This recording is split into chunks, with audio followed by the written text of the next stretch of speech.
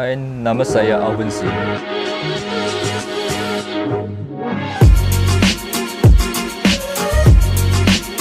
Seorang artis yang bergerak dalam seni kontemporari, saya dilahirkan di Batu Pahat. Seni menjadi sebahagian penting dalam perjalanan hidup saya. Minat saya dalam seni bermula semenjak zaman kanak-kanak. Amalan menjahit oleh ibu dan nenek saya membentuk minat awal saya dalam mencipta karya seni. Pendidikan menengah saya di berdalam di sekolah menengah jenis kebangsaan Cina Batu Pahat dengan sokongan dan bimbingan daripada guru-guru yang berpengalaman.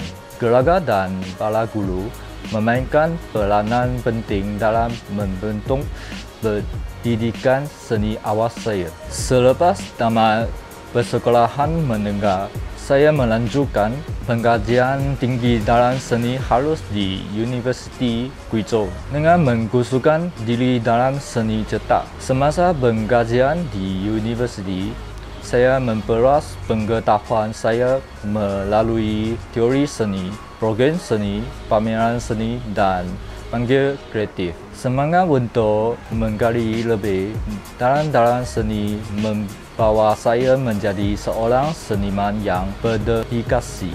Rumah Bulong adalah pameran seni yang menyelami konsep identiti dengan menggunakan bulung walid sebagai rangkaian metafora. Idea untuk menghasilkan karya ini datang daripada wujudnya rumah bulung bersebelahan dengan tempat kediaman kami di Tin Alley. Karya seni Rumah Bulung adalah hasil daripada merenung tentang kepentingan warisan budaya dan ekologi semula jadi dalam identiti negeri Perak. Geologi Perak dipenuhi oleh bukit-bukit, batu kapur dan gua-gua. Tempat kelawar dan burung walit bersarang dan hidup. Sejak peningkatan penternakan burung walit, rumah burung telah menjadi pemandangan ikonik di Perak. Pilihan menggunakan kertas kalender sebagai bahan utama karya ini berasal daripada keinginan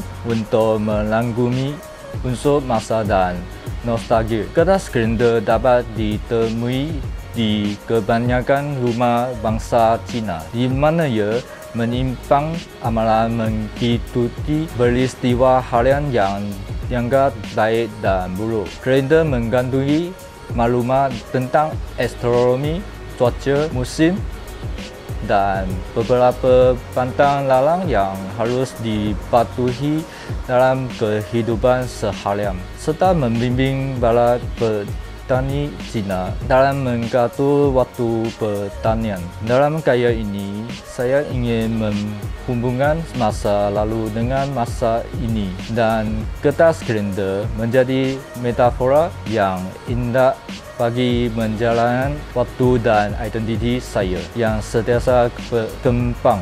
Cabaran yang saya hadapi semasa menghasilkan karya rumah burung ini termasuk mencari cara untuk menyatukan unsur-unsur kreatif dengan penekanan yang tepat pada aspek budaya dan ekologi. Saya juga menghadapi cabaran teknikal dalam mengolah kertas kalender menjadi suku yang tahan lama dan estetik. Walau bagaimanapun, melalui ketekunan dari pendidikan mendalam, saya dapat mengatasi jabatan tersebut. Persekitaran memainkan peranan penting dalam hasil karya seni saya.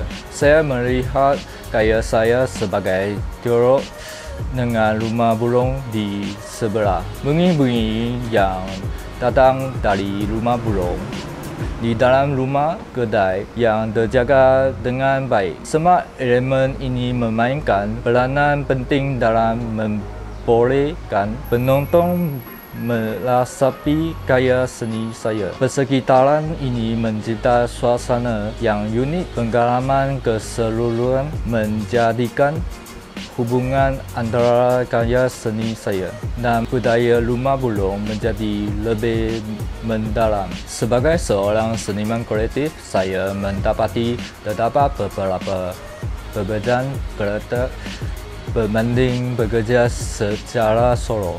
Apabila bekerja dalam kumpulan seni, saya mempunyai peluang untuk berkolaborasi dengan rakan seniman lain bertukar pendapat dan mendapatkan inspirasi dari berbagai perspektif. Kolaborasi ini membolehkan dibunyai idea-idea baru dan melangsak eksplorasi kreatif yang lebih luas.